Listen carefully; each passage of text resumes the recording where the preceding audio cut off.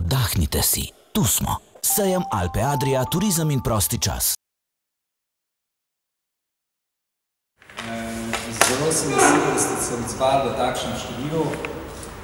Pa da se neki dan samo pogovarjali o vsemu Alpe Adria, je še malo več nesplošno povedal, kaj se gremo na gospodarskem stališču, ne samo seveda sejma.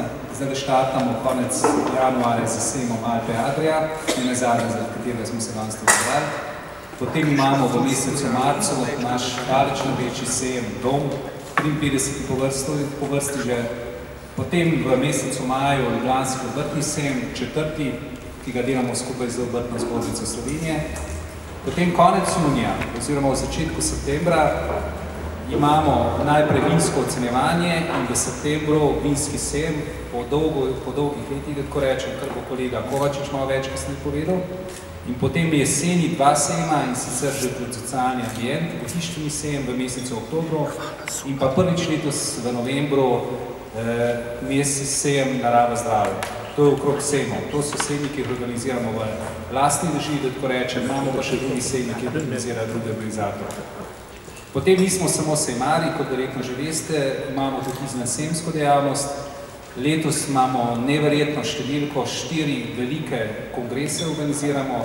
In sicer v mesecu avgustu, v začetku meseca avgusta bomo organizirali svetovni sejem skavcev, svetovni kongres skavtov, Potem konec avgusta bo Evropski, Evropski kongres eh, ekonomistov, agrarnih ekonomistov in potem v mesecu septembru bo PNSN kongres turističnega združenja eh, Velike Britanije in pa konec meseca septembra se dogovarjamo z en verski kongres Couple of Christs.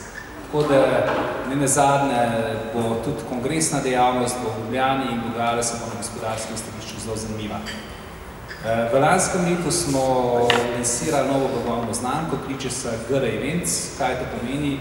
Gre za blagovno znamko gospodarskega razstavišča in si želimo še sami, oziroma smo že pričeli za organizacijo koncertov. Letos bomo organizirali štiri velike koncerte, štiri manjše koncerte in pa 15 manjših klubskih dogodkov. Seveda vse v lastni režiji. Mogoče čist na koncu še Dve leti nazaj smo pričeli z razstavami. Začelo se je z eno super razstavo, ki se je klicala Razkrita telesa. Lansko leto smo nadaljevali z razstavo o geniju Da Vincijo. Letos se ponovno pogovarjamo o eni fenomenalni razstavi. Ime vam še ne smem povedati, oziroma ga ne bom še zaupal, ker smo še v teku pogajanj. Gre pa za razstavo, ki je zdaj trenutno v Milanu, poteka v Milanu, nosilec razstave je pa ameriški eh, nacionalni muzej. Tako da predvidoma bo pa odprta v sredini meseca maja in potrala do konca avgusta.